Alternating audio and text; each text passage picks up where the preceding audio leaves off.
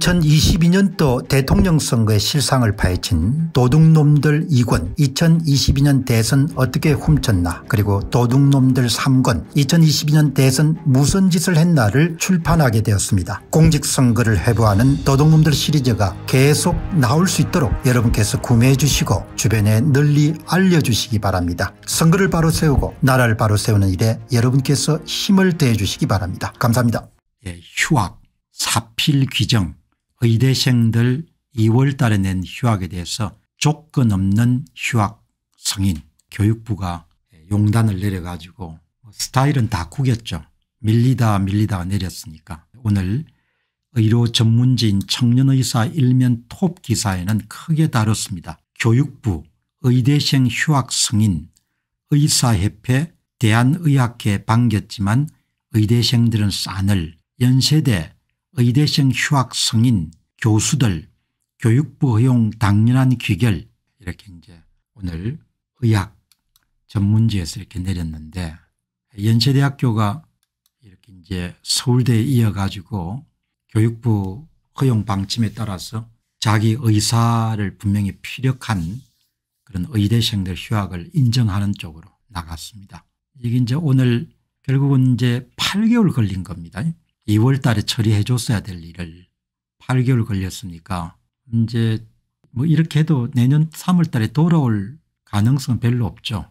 왜냐하면 정부가 2025년도 의과대학 정원 문제를 예, 양보할 의사가 없으니까 자 이제 그 한번 살펴보도록 하겠습니다. 이 사태가 어떻게 왔는지 이게 10월 26일자 기사입니다. 의과대학 교수 정부의 의대생 휴학 부르는 대학 자율성을 침해다. 전국 의과대학 교수 비상대책위원회 정부 종합청사의 교육부 앞에서 집회에 여는 광경이고 정부 조치를 전부 다 반대한 거죠. 의대 교수들이 교육부의 의대생 휴학 불허 행정지도에 대해서는 98.7% 반대 의대 교육 5년 단축에 대해서는 97.8% 반대 고등교육기관의 평가 인정 등에 관한 규정 일부 개정령안을 통해 가지고 한국의학교육원 평가를 무력화하는 부분에 대해서 96.5%가 반대 이게 10월 26일자 여러분들 기사입니다. 의대 교수분들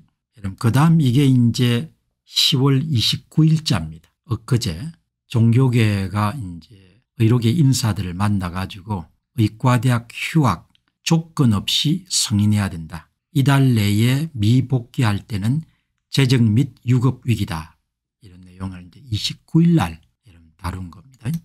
예. 전국 10개 거점 국립대 총장 모임인 거점 국립대 총장협의회는 10월 28일 발표한 정부 건의문을 통해서 의과대학 학생들이 개인적 사유로 제출한 휴학원을 대학이 자율적으로 승인할 수 있도록 해달라. 그리고 이제 그 다음 날 종교 7대 종, 종교계 지도자의 똑같은 이야기들이 나온 거죠. 빗발듯이 이렇게 요구가 있은 다음에 그 다음에 이제 최종적으로 10월 29일 날 정부가 교육부 의대생 휴학 승인 대학 자율에 맡기겠다.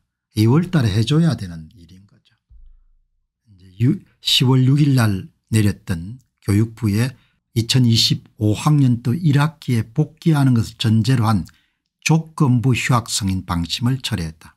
그렇게 해서 안 되겠다고 아마 판단이 들었던 모양입니다.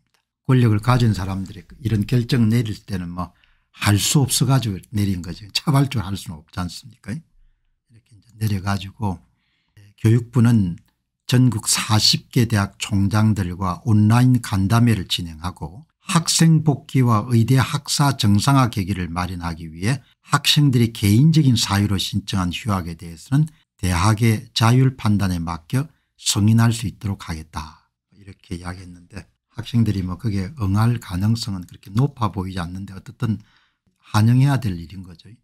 늦으나마 지난 10월 6일 날 의대생들이 2025학년도 1학기에 복귀한다는 조건부 휴학을 인정하겠다. 처음에는 아예 휴학을 인정 안 했고 10월 6일 날 크게 여러분들 양보해 가지고 조건부 휴학을 허용하고 그 다음 이제 10월 29일 날 조건 없이 대학 자율에 따라서 휴학을 해라. 휴학을 승인한다. 뭐 이렇게 이제 나왔으니까 그러니까 8개월 걸린 겁니다. 그래도 또 대통령실은 또 딴소리 하는 겁니다. 의대생 올해 휴학 처리는 내년 1학기 복귀가 의무화되는 것이다. 아마 학사 규정이 2학기 연속 이상은 아마 하기가 힘들게 되어 있는 모양입니다. 그거를 이렇게 이야기하는 건데 자, 제 이야기는 뭐 일단 정부가 판단을 잘해서 잘 내리신 것이고 그러나 이제 그동안 상황을 보게 되면 10월 6일 날 마저 못해서 이제 조건부 휴학을 승인하겠다. 그렇게 했다가 이제 10월 29일 날 뭐 의과대학 교수 학부모 종교계 이제 아우성을 치니까 조건 없이 개인 의사가 명확하게 되면은 휴학을 승인하는 것으로 뭐 오늘 논평하는 사람하고 다른 의견을 가지신 분도 계시겠지만 명분이야 어떻든 간에 학생들이 휴학을 를 내면은 받아줘야 되는 거죠. 그 아마 헌법 소원 같은 게 들어가 가지고 소송을 붙으면은 정부가 이길 가능성이 그렇게 높아 보이지 않았거든요. 어떻든 간에 순리대로 이렇게 처리를 해야 되는데 뭐 이렇게 한다 해가지고 의대생들의 요구 조건이 충족된 게 아니기 때문에 내년 어 상반기에 복귀하는 그런 뭐 보장은 없는 것이죠. 그러면 이제 올해 내년 다 의사 공급이 거의 안 되는 거죠. 이제 매사를 좀 적법한 절차에 따라 가지고 합리적으로 의사결정을 내리게 되면 문제가 되는데 합리적인 의사결정을 내리지 않은 상태에서 계속 여러분 우기니까 그 이제 계속해서 문제가 꼬여 가지고 여기까지 왔는데 뭐 내년까지 계속 이렇게 파장이 확대가 되겠네. 지금 대한민국 정도 되면은 국력을 미뤄보나 여러 가지 미뤄보나 매사를 이렇게 합법적 절차 적법성에 따라서 그렇게 해결을 해야 되는 거죠.